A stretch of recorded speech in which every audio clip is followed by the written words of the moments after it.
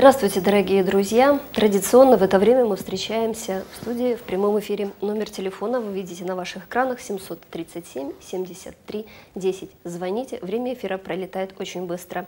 Я уверена, что каждый из вас задумывается о своем здоровье, но к огромному сожалению, вы не находите время, час, два, три, в неделю, в месяц, в год, чтобы найти это время и уделить самому себе. Именно поэтому, для того, чтобы сэкономить и ваше время, и, как говорят в Одессе, уменьшить объем работы для наших любимых врачей, мы начинаем цикл программ на канале Медиаинформ «Здоровый интерес». я ее ведущая Ольга Мудрова. Здоровый интерес есть всегда, был и он будет. Я с большим удовольствием сегодня представляю в студии гостя нашей программы, ну и вашего, уважаемые дамы, телезрительницы, друга, а именно главврач Одесского областного онкологического диспансера, заслуженный врач Украины, главный онколог области Олег Лукинчук сегодня в нашей студии, чтобы пообщаться с вами. Здравствуйте, Олег Валерьевич. Добрый вечер. Ну вот такой цикл программ мы с вами сегодня начали на канале Медиаинформ «Здоровый интерес».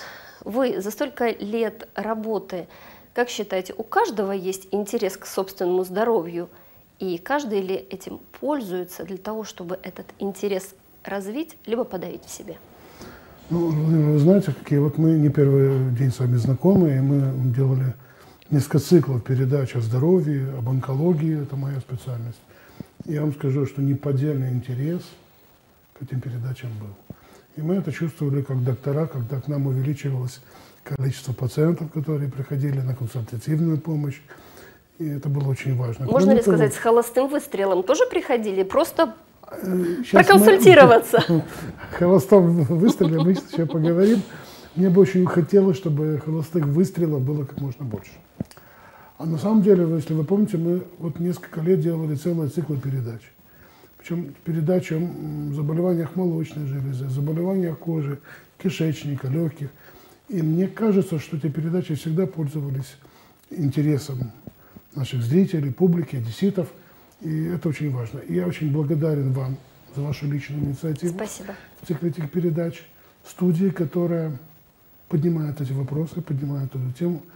Вы знаете, э, вы говорите, интерес к своему здоровью. Ну, мне кажется, ну какой может быть интерес? Личная заинтересованность. Мы хотим быть здоровыми, мы э, мечтаем об этом. Мы, мы хотим, чтобы были здоровы члены наших семей – Поэтому я считаю, что то, что сегодня мы начинаем цикл этих передач, это очень важно и значимо. Я считаю, что у этих передач большое будущее. Э, хочу напомнить нашим телезрителям, что мы работаем в прямом эфире 737-73-10, и программа «Здоровый интерес» на канале Медиинформ будет выходить два раза в месяц, поэтому уже готовьте свои телефонные звонки, вопросы к специалистам, которые будут посещать наши программы. Олег Валерьевич, как говорят в Одессе, только отзвенел еще праздник, День медицинского работника, поэтому от чистого сердца искренне примите и наши поздравления вам, вашему коллективу, вашей семье, потому что я знаю, что вы, доктор, не в первом поколении, ну и будем надеяться, что ваши дети да, тоже эту эстафету примут с благодарностью. И для доктора это своеобразный Новый год, рубеж. Давайте скажем так, промежуточные итоги подведем того, что было за год от июня до июня, ведь недаром это выпадает на середину года, можно сказать, что уже есть экватор. Знаете, ну, мы всегда, когда работаем, мы не всегда оборачиваемся и не смотрим назад, что реально сделано, что изменилось или может. Вот я, э, когда ехал на, на передачу, я задумался вот о тех основных вехах, которые были нами сделаны вот за последний год. Может быть, на уровне области, города это не такие большие достижения, да, но для нас это очень важно. Посмотрите, мы сделали, презентовали новое отделение химиотерапии. Ольга Владимировна, вы прекрасно знаете, насколько это тяжелая, сложная категория пациентов. И вы знаете, что вот насколько буквально за несколько месяцев после открытия отделения уменьшилось количество жалоб – людей недовольных, поскольку выяснилось, что бытовые условия имеют но не менее важное значение, чем оказание, в общем-то, собственной медицинской помощи. Продолжает работать и усовершенствуется диагностический центр. Мы уже поставили на потоке, работают видеоэндоскопическая часть этого подразделения. Я считаю, что очень хорошо, динамично развивается ультразвуковая, ультразвуковая диагностика в Одесском областном онкодиспансере. И я считаю, что правильная организация работы заведующей отделением, там новая заведующая у нас, она приводит к тому, что пациентам становится более комфортно, повышается качество оказания медицинской помощи. Я страшно не люблю слово медицинская услуга, оказание медицинской помощи. Вы знаете, намного стало количество жалоб. Мы открыли телефон доверия. Сейчас мы сделали этот телефон горячей линии, который висит на каждом кабинете, в каждом работает. отделе. Он работает. Да, он сначала особенно много, а потом ну, я надеюсь, что это связано с улучшением качества оказания помощи. Но ну, ежедневно 3-4 звонка. Причем, вы знаете, если раньше это были жалобы на Ругали. очередь, на хамство, на разные моменты, то сейчас, вы знаете, я больше получаю советов – вот, а вот лучше бы сделать ведь вам подсказка, так. оно ведь да, тоже важно. Это, это очень, очень хорошо, это правильно. И вы знаете, для меня это настолько важно, и я чувствую, что мы начинаем уже взаимодействовать э, с пациентами. Это и то, о чем вы говорили то, несколько, я всегда да, говорил, то, к чему вы стремились. Пока не будет взаимодействия, у нас не будет хорошего результата. Оно начинается, я думаю, за этим будущее. Я вообще считаю, что пора время входить в эпоху позитива. Нормальных, человеческих, порядочных, профессиональных отношений друг с другом. Я думаю, что это во многом сможет изменить ситуацию, которая есть. По поводу позитива, что вы можете сказать как доктор, насколько здоровье и результат выздоровления человека зависит от его морального настроя, от позитива, от того настроения и поддержки семьи? Самое главное, с каким человек обращается в ваше медицинское учреждение? Это очень важно. Вы знаете, э, человеку, человека вообще нельзя оставлять один на один с болезнью. Первое, как врач, я хорошо понимаю, что между пациентом и врачом должны быть созданы новые отношения. Уважение, доверие. То есть это необходимо для того, чтобы оказывать правильную помощь. Но очень важен микроклимат в семье. Поддержка родственников, близких, их личная заинтересованность в выздоровлении.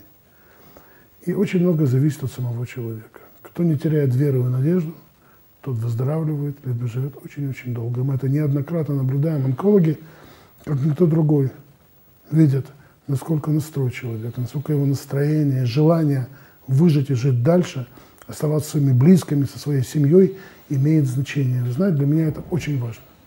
И когда я вижу, когда приходит человек, и он хочет жить, он хочет выжить и жить дальше, у него все получится. И результат будет.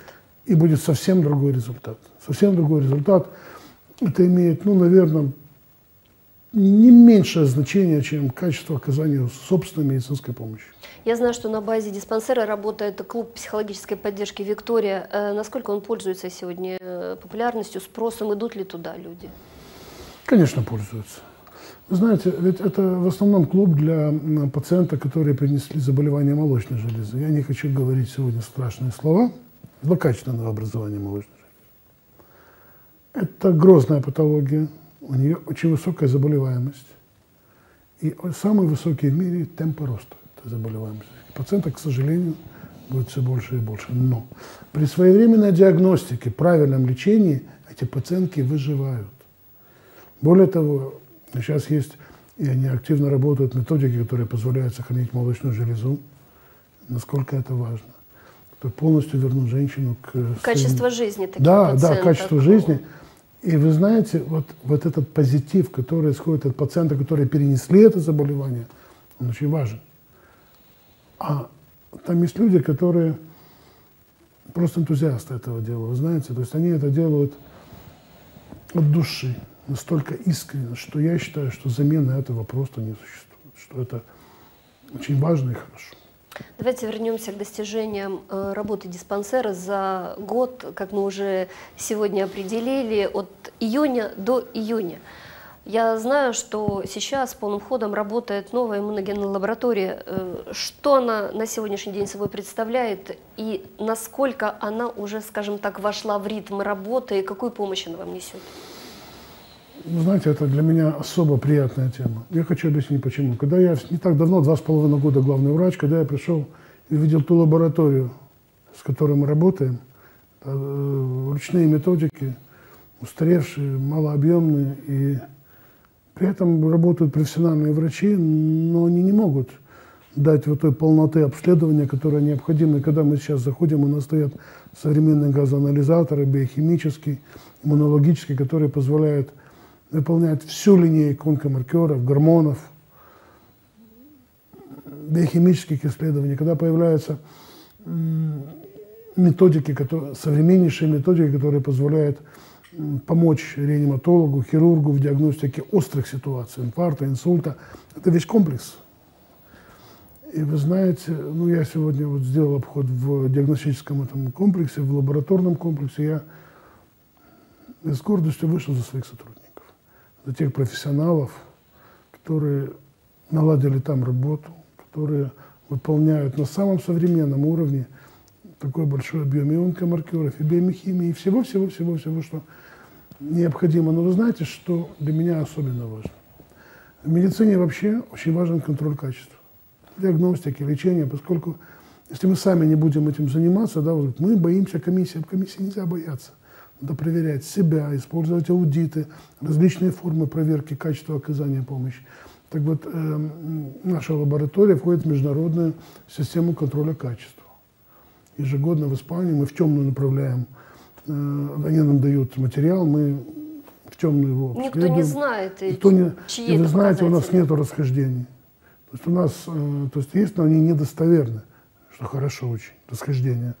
И э, последние показатели говорят о том, что наша лаборатория соответствует самым высоким европейским критериям оказания лабораторной помощи. Для нас это очень важно.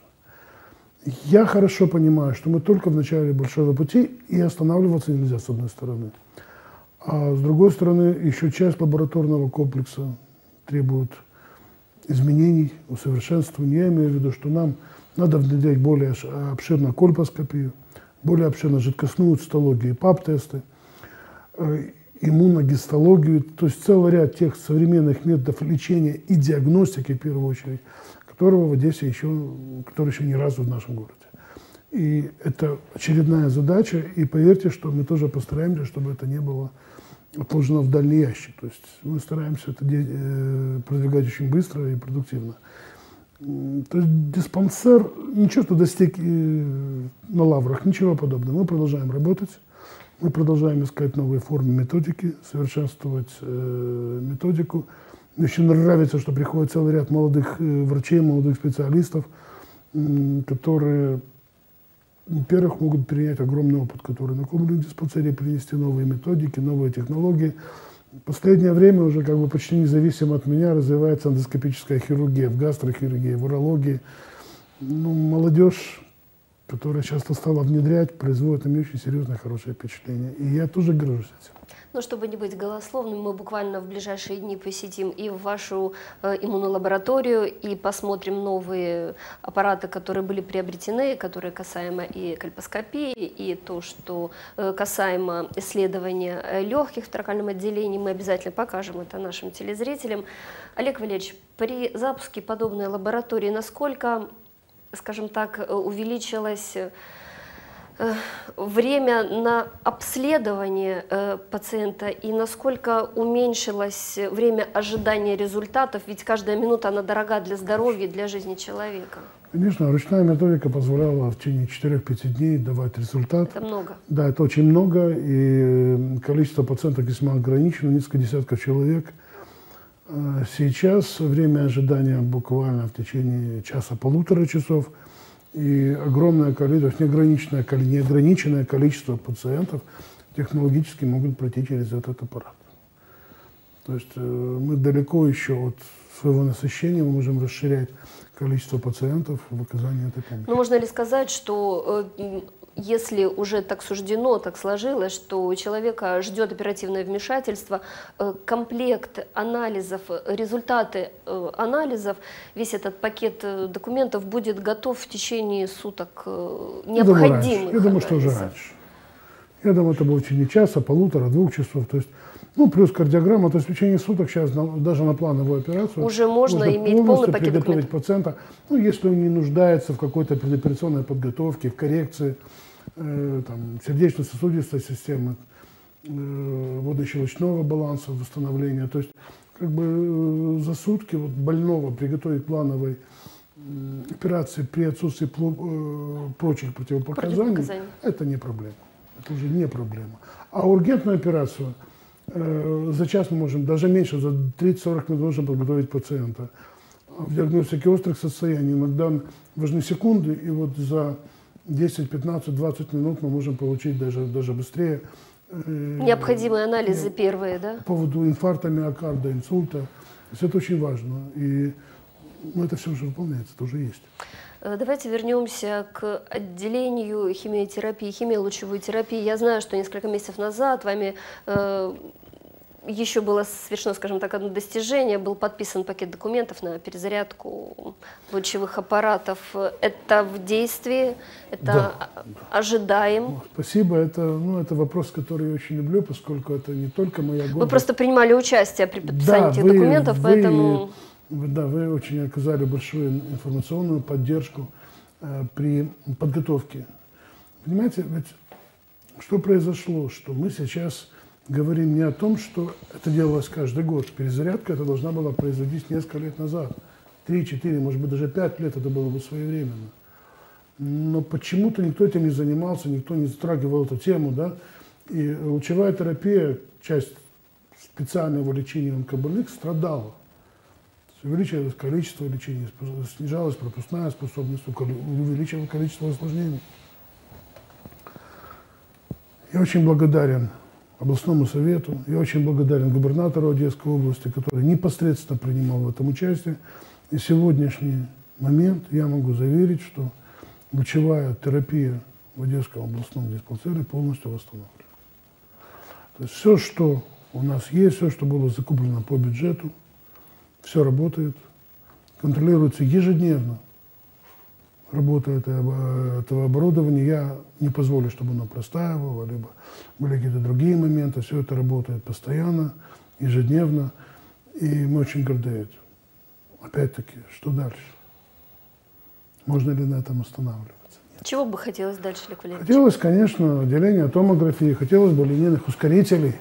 Если раньше я даже боялся об этом говорить, чтобы не сгладить остроту проблемы, да, то сейчас об этом говорить нужно и, наверное, можно. Я думаю, что этот вопрос уже решаем, поскольку у нас есть время на это. Ну, работа над Мы ним уже идет, оказываем помощь, которая по своим параметрам соответствует ну, европейским показателям. И не особо отличается от э, линейного ускорителя другого, но тем не менее мы хорошо понимаем, что будучи с новыми технологиями, за взаимодействие с частным бизнесом, и я понимаю, что, это, что мы тоже пойдем по этому пути. Ленинскую это дорого, это дорого, но это будущее лучевое, э, лучевого лечения. Те телезрители, которые нас сейчас видят, э, прекрасно понимают, да и мы с вами, что онкологические заболевания – это очень, скажем так, финансово затратные заболевания, к огромному сожалению. И вопрос, который сейчас есть на поверхности, вопрос медикаментов. Есть ли что-то в диспансере, на что могут рассчитывать э, пациенты? Э, да, к сожалению, онкологическое лечение во всем мире является самым затратным, самым дорогостоящим в силу технологий, в силу специфики этой помощи.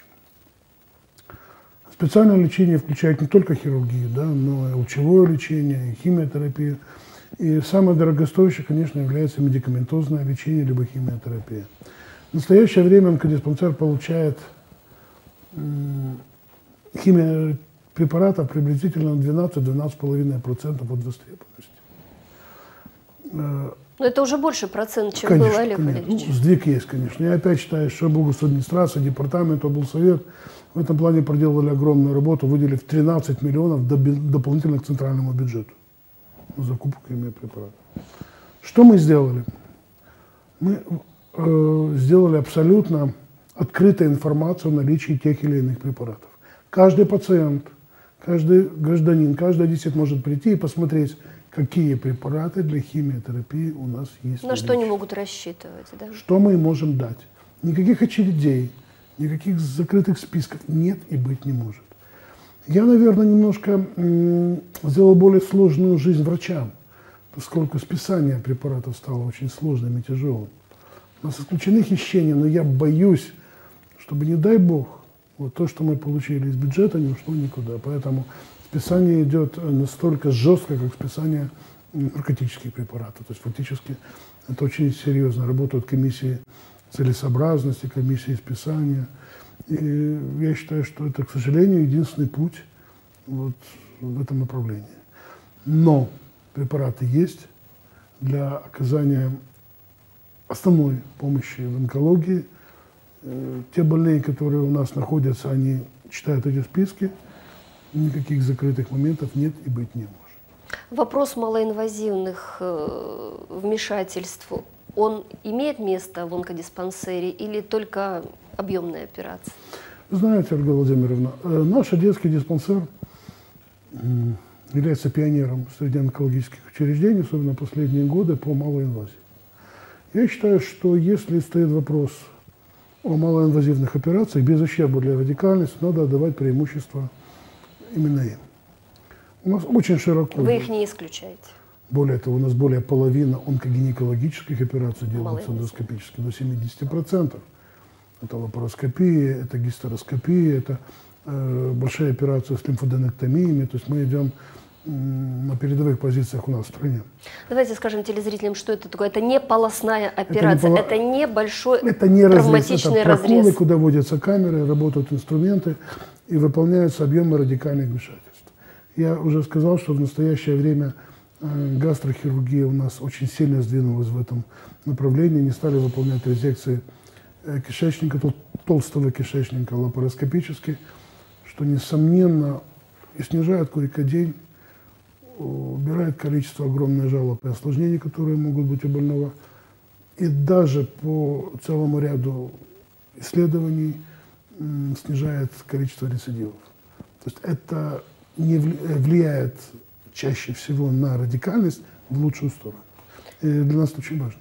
Поскольку, если мы говорим о малой инвазии, то, конечно, малоинвазивным лечением в онкологии должны заниматься онкологи ну, только онколог, который имеет представление о радикальности оперативного вмешательства, понятие областика, понятие специального лечения. Поэтому я считаю, что в онкодиспансере это происходит. Это фактически единственный путь для развития э, малоинвазивной онкологии у нас в области. Так как у нас э, сегодня с вами первый выпуск нашего телевизионного цикла программ «Здоровый интерес», давайте сейчас познакомим телезрителей с, со следующими темами, со специалистами, э, которыми дойдется встречаться э, нашим уважаемым телезрителям в эфире нашей программы. Ну, я позволю себе приглаши, э, сделать некоторые предложения. Предложения, да? давайте, конечно. Ну, идет лето, правильно, идут загары. Я считаю, что необходимо встретиться с дерматологом, с специалистом-онкологом, который занимается кожей, мягкими тканями с вопросами дермоскопии, дерматоскопии, с профилактикой злокачественных образований кожи и меланомы. Потому что эта тема актуальна.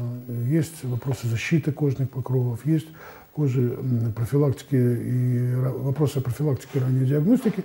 Я думаю, что идет лето, мы с этого начнем. Несомненно, это будут, я уверен в этом, что будет интерес к заболеваниям молочной железы. Я уверен, что будут заболевания к э, желудочно-кишечному тракту, толстому кишечнику, желудка, легким. Мы готовы взаимодействовать, то есть если будет какой-то интерес какой-то конкретной теме, да, мы готовы ее поставить. Я думаю, что мы предложим нашим телезрителям да. звонить, у нас, оставлять У нас и замечательные гастрохирурги, Сгура, Беленко, то есть это люди, которые много лет заслуженные врачи, доценты, которые занимаются этим вопросом. И по каждой нозологии мы сможем представить лидеров э, в этом направлении. И тем не менее тему онкопревенции мы будем с вами поднимать практически каждую На программу. Передаче. Спасибо вам огромное. Спасибо, Ольга Владимировна.